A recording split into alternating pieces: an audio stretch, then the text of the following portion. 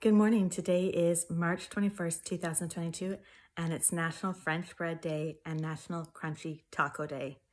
Crunchy tacos are, in my opinion, the lesser of the taco genre. I prefer my soft shells. Tacos, as many of you know, is a traditional Mexican cuisine. It has many different fillings. It could be chicken or beef or pork, um, and then lots of different toppings, uh, especially depending on what part of Mexico um, you are having your tacos served in. French bread, obviously, is for France, well-loved type of bread. Uh, it's also known um, in many places as a baguette, well, in France as a baguette.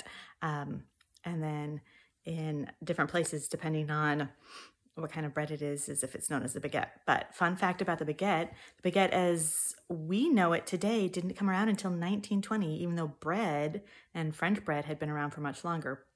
But in France in the 1920s, a labor law was passed that bakers could not start their day until after 4 a.m.